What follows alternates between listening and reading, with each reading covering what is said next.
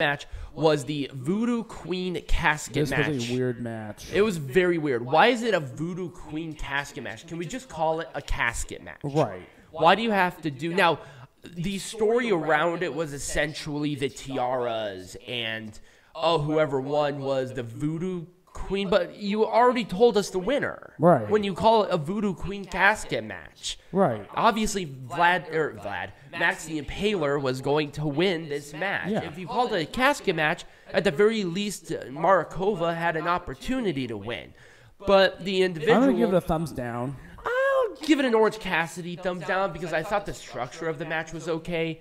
Uh, the ending was not necessary of having uh, of having Sal, um, our pal Sal, whatever his name is, interfere in the match. Yeah, that was kinda It kind of made Max look weaker because how can Max lose that definitively to Markova? Right. who is a lot smaller and a lot lighter. Right. There's no reason for it. Right. But I thought overall it still made Markova look strong. Yeah. I was like, okay, she's still strong.